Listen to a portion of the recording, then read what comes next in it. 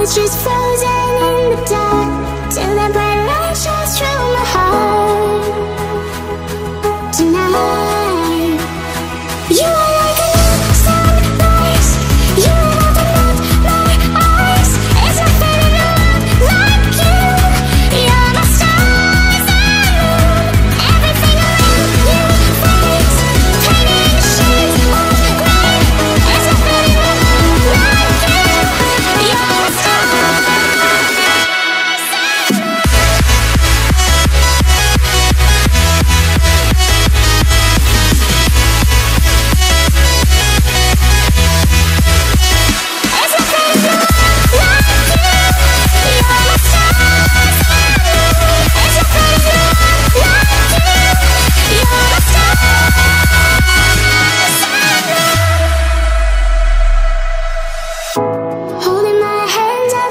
sky.